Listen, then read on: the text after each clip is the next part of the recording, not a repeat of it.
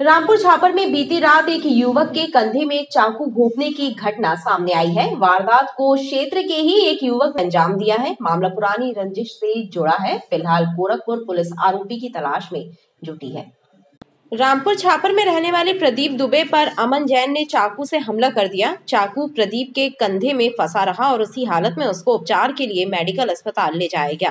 गोरखपुर थाना प्रभारी एमडी नागौतिया ने बताया कि दोनों का पुराना विवाद चल रहा है और पुरानी रंजिश के चलते ही अमन ने इस घटना को अंजाम दिया।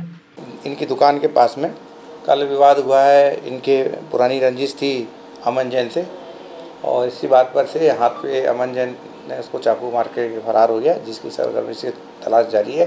प्रकरण में अपराध पंजीबद्ध कर लिया गया, विवेचना जारी है। पुलिस के द्वारा आरोपी की तलाश की जा रही है।